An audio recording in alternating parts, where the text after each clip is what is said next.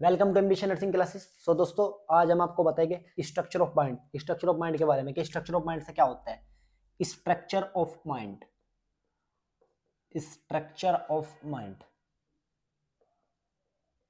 ये एक साइकेट्रिक मतलब है structure of mind structure of mind होता है ना, इसके तीन कंपोनेंट होते हैं। इसके अंदर तीन पार्ट होते हैं स्ट्रक्चर ऑफ़ माइंड के। फ़र्स्ट जो पार्ट होता है, उसको क्या बोलते हैं? उसको बोलते हैं आईडी इड आईडी इड और जो सेकंड पार्ट होता है, उसको बोलते हैं ईगो जो थर्ड होता है, उसको क्या बोलते हैं? सुपर ईगो सुपर ईगो तो तीन पार्ट होते हैं स्ट्रक्चर ऑफ़ माइंड के, एक होता है आईडी एक होता है ईगो और थर्ड होता है, उसको बोलते हैं सुपर ईगो तो इनको किस तरीके से क्लासिफाई करते हैं, किस तरीके से इसको बताते हैं तो आज बात करते हैं इसके बारे में कि आईडी में क्या होता है. आईडी में एक पेशेंट है स्ट्रक्चर ऑफ़ माइंड उसमें जो अगर आईडी है आईडी वाले पेशेंट क्या होगा?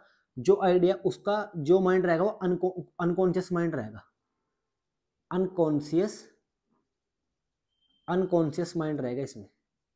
इसमें अनकॉन्शियस माइंड रहेगा और क्या रहेगा? इसमें क्या रहेगा? इसमें कॉन्शियस माइंड रहेगा।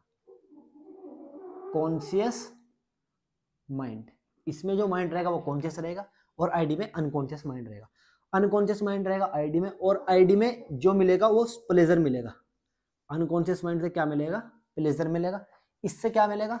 इससे क्या मिलेगा? मोरल एथिक्स मोरल एथिक्स या डिटरमाइन राइट एंड रॉन्ग कि सही क्या है और गलत क्या है। इससे ये चीज़ पता लगेगी सुपर ईगो से। तो इसमें मोरल एथिक्स कॉन्शियस माइंड रहता है, इसमें अनकॉन्शियस माइंड रहता है। बट जो ईगो रहता है, उसमें क्या होता है? इसमें कॉन्शियस माइंड भी रहता है conscious mind plus unconscious mind इसमें कॉन्शियस माइंड भी रहते हैं और अनकॉन्शियस माइंड भी रहता है इसमें। अनकॉन्शियस माइंड भी रहता है। इससे क्या बनते हैं? ये रियलिटी रियलिटी बताता है रियलिटी को दर्शाता है। ये इसमें रियलिटी होती है। इसमें क्या होती है? इसमें रियलिटी होती है। इसमें रियलिटी होती है और ये क्या होता है? इसमें मोरल एथिक्स इसमें रियलिटी इसमें प्लेजर मिलता है। इसमें क्या होगा कि एक एग्जांपल लेते हैं कि किस तरीके से इसको एक्सप्लेन कर सकते हैं स्ट्रक्चर ऑफ़ माइंड को, कि एक मदर माँ है मदर है, उसके एक लड़का है, ये, उसका सन और इस लड़के की शादी हुई हुई है, इस लड़के की शादी हुई है, ये इसकी लड़के की वाइफ हुई, और इसकी माँ की मतलब माँ इसकी सासू हुई, और लड़के की वाइफ हुई। तो इसमें क्या होता है, इसमें किस तरीके से ये जो लड़का है मदर है और वाइफ है, इसमें किस तरीके से मेंटेन रहते हैं, कौन से मैकेनिज्म यूज़ करते हैं इस चीज़ को मेंटेन करने के लिए? तो इसमें क्या हुआ कि ये मदर है, ये सन है, ये वाइफ है। इसमें क्या करा? इनकी नई नई शादी हुई तो समथिंग दस पंद्रह दिन बाद इसकी वाइफ कहती है, अब इसकी वाइफ अपने हस्बैंड से बोलती है कि आज मुझको बाहर डिनर करा के लाओ। मुझे के वगैरह में वहाँ पर बाहर डिनर करा कर मैं घर डिनर नहीं करूँगी। तो और ये कहते हैं इनको चलो ठीक है, हम बाहर डिनर करते हैं। फिर इसकी जो मदर रहती है, यो अपनी माँ से पूछता है, माँ को बोलता है कि, माँ, चलो बाहर डिनर करते हैं। कि मेरी वाइफ भी बोले कि, मैं बाहर डिनर करूँगी और आप भी चलो। तो इसकी माँ बोलते हैं कि, नहीं, आज हम बाहर डिनर नहीं करेंगे, यहीं घर पर ही रहेंगे, क्योंकि खर्चा भी बहुत हो चुका शादी में। तो इस तरीके से इसकी माँ मना कर देती है इसकी बात को कि, नहीं, घर हम घर पर ही डिनर करेंगे। तो इस तरीके से वो फिर अपनी वाइफ के पास गया और वाइफ को बोला कि, माँ, मने कर रही है, मेरी मदर मने करे तो हम डिनर घर पर ही करेंगे, बाहर नहीं करेंगे। तो इस वजह से इसकी माँ, इसकी वो जो वाइफ है, लड़के की जो वाइफ है, इसकी इसकी सन की जो वाइफ है, वो इससे नाराज़ हो जाती है कि इनको नहीं, मैं तो बाहर डिनर करूँगी। इस तरीके से इससे नाराज़ हुई। तो इसने क्या काम करा? अगर ये अपनी वाइफ की बात मानी इसने तो ये इससे मदर नाराज़ हो जाएगी। और माँ की मानी तो वाइफ नाराज़ हो जाएगी। तो इस तरीके से ये कन्फ्यूज़ में फंस गया कि क्या करूँ मैं, क्या ना करूँ। तो इस तरीके से इसमें ये, इस तरीके से फंस चुका। फिर ये इसके अंदर एक कोई डिफेंस मैकेनिज्म बहुत सारी मैकेनिज्म यूज़ करता है। कि अब मैं किस तरीके से इन दोनों को मनाऊँ, अपनी माँ को भी बनाऊँ और अपनी वाइफ को भी मनाऊँ, किस तरीके से मैं इनको मेंटेन करूँ, किस तरीके से इनको समझाऊँ। तो इस फिर एक कुछ टाइम के बाद, फिर समथिंग एक दो घंटे के बाद वे कहता है, उसका लड़का कहता है अपनी वाइफ से कि चलो, आज हम डिनर नहीं करेंगे और कल हम डिनर करने जाएँगे। कोई भी मतलब कि अगर हॉस्पिटल में गए इससे कोई भी बहाना दे के हम बाहर डिनर करने जाएँगे कल। और अपनी माँ को कह देता है कि माँ, हम डिनर घर पर ही करेंगे, हम बाहर नहीं जाते। तो इस तरीके से वो अपनी माँ को बोलता है कि, माँ, चलो आज हम डिनर घर ही करेंगे, बाहर नहीं जाएँगे। तो इस तरीके से उसकी माँ लड़के से खुश हो जाती है और अपने वाइफ को वाइफ को बोल देता है कि, आज हम डिनर नहीं करेंगे, कल करेंगे, कल बाहर जाएँगे और फिर डिनर करेंगे। तो इस तरीके से वो अपनी वाइफ को भी बता, मना लेता है और अपनी माँ को भी मना लेता है। तो इस तरीके से इसने मैकेनिज्म यूज़ करी कि अपनी वाइफ को मनाई और इसको मनाई। इसको कह दिया कि आज हम नहीं करेंगे, इनको बोल दिया। कि कल जाएँगे और कल करेंगे तो इस तरीके से ये दोनों खुश हुए। तो इसने जो ये मतलब कि जो ये मैकेनिज्म यूज़ करे कि इनको भी मना लिया उनको मना इसमें इसको मैकेनिज्म करे, बहुत सारे झूठ बोले, सही, इसने इस तरीके से अपने आप को मेंटेन करे कि दोनों मान जाए। इस तरीके को जो इन चीज़ों को मेंटेन कर ले कि जो मदर है, वो इसमें की जो मदर है, वो क्या करती है, सही गलत बताती है। तो मदर तो आएगी सुपर ईगो में। मदर जो है इसकी, वो वो सुपर ईगो है और जो वाइफ है, वो क्या है आईडी है। जो मदर है, वो सुपर ईगो है और जो आईडी है, वो वाइफ है। क्या मतलब कि इसको, वाइफ को क्या चाहिए? प्लेजर चाहिए। वो उसने क्या कहा? आज नहीं, कल करेगा। तो इसको प्लेजर मिलेगी चलो, कल करेगा, कोई नहीं। और मदर क्या है? राइट एंड रॉन्ग इसमें क्या कर रहे हैं? जो मदर है, वो कह रही, जो आज नहीं करते, हम घर पर ही रहेंगे, घर पर ही डिनर करेंगे। तो इस तरीके से अपनी माँ की बात मानी। तो माँ ने कहा, ठीक है, मैं सही हूँ। तो मेरा लड़के ने मेरी बात मान। ली तो उसको डिटरमाइन मोरल एथिक्स मिल गया। मतलब शांति मिल गई उनको कोई दिक्कत नहीं। उसके बाद क्या हुआ? वो फिर अगले दिन गए और अगले दिन जाने के बाद उसने अपनी वाइफ को, अपनी माँ को कहा, सुबह मॉर्निंग में उठ के देखो मम्मी जी, इसको कोई दिक्कत हो रही है तो इसलिए मैं आज हॉस्पिटल जा रहा हूँ एम्स में और वहाँ पर दिखा के लाता हूँ इसको। तो इसकी मम्मी बोलते कि, चले जाओ, कोई दिक्कत नहीं। तो वे अपने क्या काम करता है कि अपनी मम्मी को बोला उसने कि, मैं इसको क्या नाम हॉस्पिटल दिखाने जा रहा हूँ एम्स में। तो इस तरीके से मम्मी को झूठ बोला और झूठ बोल के क्या काम करा, वो डिनर पर चला गया और हॉस्पिटल में उसने कोई एकअप चेकअप सीबीसी वैसे इस तरीके से करा ली उनको वैसे ही घर दिखाने के लिए, रुको भाई, इसको मैं ये रिपोर्ट करा के लाया हूँ। इस तरीके से उसने क्या करा एम्स गया और एम्स जाने के बाद उसने अपनी वाइफ का सीबीसी करा और सीबीसी कराने के बाद जैसे उधर से लौटा तो वह उसने कोई वहाँ पर उसने लंच करा। और लंच करने के बाद उसने अपनी वाइफ की बात को भी रख लिया और अपनी माँ को, क्योंकि वो कल नहीं लेके गया और वो आज ले गया, इसको प्लेजर मिल गया। तो इस तरीके से उसने एक मैकेनिज्म यूज़ करी, जिसे को बोलते हैं डिफेंस मैकेनिज्म कि इसने आपस में दोनों चीज़ों को मेंटेन रखा। तो इसमें क्या करते हैं? रियलिटी इसमें क्या करते हैं? जो ईगो में होती है, उसमें ईगो में होती है, उसमें रियलिटी रहते हैं। तो क्या करते हैं?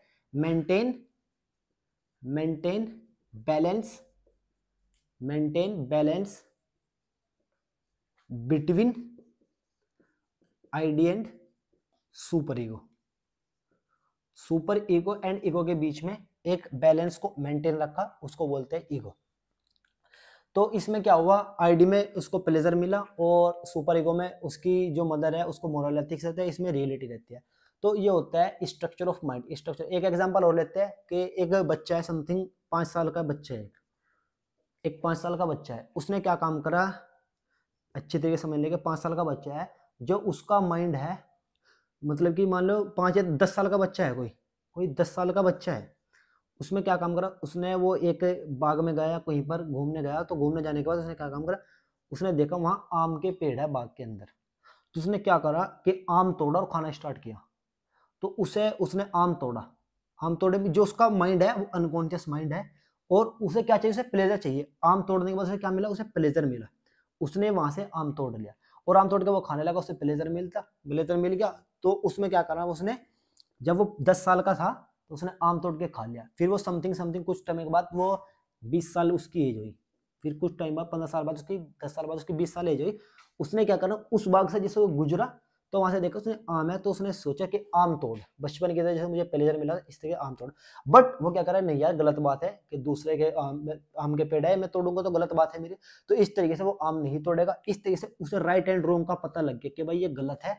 मैंने जो बचपन में क्या तो हो गया भूल की चौक में तो इस तरीके से क्या करा राइट एंड रोंग का पता लगे कि भाई अगर मैं आम तोड़ तो गलत बात है, दूसरे के आम है, और दस साल में था, उसने आम तोड़ से कोई पता नहीं था कि इसमें अनकॉन्शियस माइंड था उस बंदे का, इसमें कॉन्शियस माइंड है। क्यों? क्योंकि उसे पता है सही और गलत क्या है, इसमें उसे पता नहीं था। इसमें उसको क्या चाहिए था, सिर्फ़ प्लेजर चाहिए था, उसमें उसको मोरल एथिक्स चाहिए।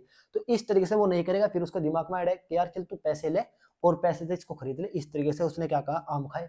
फिर उसने पैसे खरीदे, पैसे लाया घर से। घर से पैसे लाने के बाद उसने आम खरीद लिया एक किलो आम लेने के बाद वो खाया। उसने उसको प्लेजर भी मिला और उसको मोरल एथिक्स भी मिले कि उसमें क्या अगर तोड़ लेता तो मोरल एथिक्स टूट जाते। उसको क्या मिलता? प्लेजर प्लेजर मिलता। उसमें उसको प्लेजर भी मिला, घर से पैसे लाया और लाने के बाद एक के जी उसने आम खाए। आम खाने का उसको प्लेजर भी मिला और right and wrong immoral ethics भी मिले उसको। तो इस तरीके से जो इस चीज़ को मेंटेन करके रखता है, उसको बोलते हैं ईगो तो इस तरीके से जो उसने मैकेनिज्म यूज़ की, उसको बोलते हैं ईगो इस तरीके से जो उसने मैकेनिज्म यूज़ की, उसको बोलते हैं ईगो इसमें अनकॉन्शियस माइंड भी रहता है कॉन्शियस माइंड भी रहता है। उसके दिमाग में आता है कि यार मैं वैसे ही तोड़ जैसे बचपन में तोड़ा था, और एक दिमाग में उसको ये भी आता है कि यार गलत भी है। तो इस तरीके से वो घर गया, घर जाने के बाद वो पैसे लाया, और पैसे लाने के बाद आम खाए, उसको प्लेजर भी मिला, और उसने मोरल एथिक्स को भी जनरेट किया। तो इस तरीके को बोलते हैं ईगो अगर कोई बंदा इस काम को करता है, इस तरीके से जो डिफेंस मैकेनिज्म यूज़ करते हैं, झूठ बोल के या किसी चीज़ को मतलब ये हैंडल करके उसने पैसे लाया तो इस तरीके से पैसे लाने के बाद जो बहुत सारे मैकेनिज्म यूज़ करते हैं तो उसी को बोलता है डिफेंस मैकेनिज्म तो इसमें डिफेंस मैकेनिज्म क्या होता है?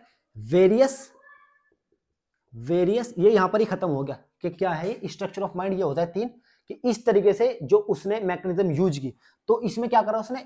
इस चीज़ को मेंटेन करने के लिए बहुत सारी मैकेनिज्म यूज़ की, जिसमें various type of mechanism various type of mechanism use to maintain to maintain balance balance between the id id and super ego and super ego that is called defense mechanism. That is called defense mechanism. Defence mechanism उसी को बोलते हैं defence mechanism कि इस तरीके से उसने बहुत सारी मैकेनिज्म यूज़ की, कि वो पैसे लाया, उसने राइट एंड रॉन्ग का पता करा, इस तरीके से वो उसने क्या काम करा? अपनी बहुत सारी मैकेनिज्म यूज़ करी और उस मैकेनिज्म यूज़ करने के बाद वो आईडी एंड सुपर ईगो में उसने एक बैलेंस को मेंटेन रखा, उसी को बोलते हैं डिफेंस मैकेनिज्म तो ये हुआ कि डिफेंस मैकेनिज्म क्या हुआ? आईडी एंड सुपर ईगो के बीच में एक मेंटेन रखने वाला बैलेंस ईगो बोलते हैं जिसको, उसी को बोलते हैं डिफेंस मैकेनिज्म उसने ऐसे मैकेनिज्म यूज़ करे कि उसमें आईडी एंड सुपर ईगो में एक बैलेंस को मेंटेन रखा. मेंटेन रखा एक बैलेंस को, उसी को बोलते हैं डिफेंस मैकेनिज्म तो ये हो गया स्ट्रक्चर ऑफ़ माइंड तो अगर आपको इस टॉपिक में कोई भी स्ट्रक्चर ऑफ़ माइंड में कोई भी डाउट्स हो, कोई भी पॉइंट आपको क्लियर नहीं हो तो आप प्लीज़ कमेंट सेक्शन में बता सकते हैं। अगर आपको वीडियो अच्छी लगी तो आप चैनल को लाइक करें शेयर करें सब्सक्राइब करें और आगे से आगे दूसरों को, अपने दोस्तों को भी शेयर करें। और मतलब नेक्स्ट वीडियो में आपको बताएँगे कि डिफेंस मैकेनिज्म के टाइप क्या होते हैं। इसके बहुत सारे टाइप होते हैं। डिफेंस मैकेनिज्म एक डिनाइल डिफेंस मैकेनिज्म होता है। एक रिफ्रैक्शन एक होता है डिनाइल डिफेंस मैकेनिज्म होता है, एक डिसोसिएशन डिफेंस इस तरह से डिफेंस मैकेनिज्म को हम नेक्स्ट वीडियो में कवर अप करते हैं कि डिफेंस मैकेनिज्म के टाइप क्या क्या होते हैं। Thank you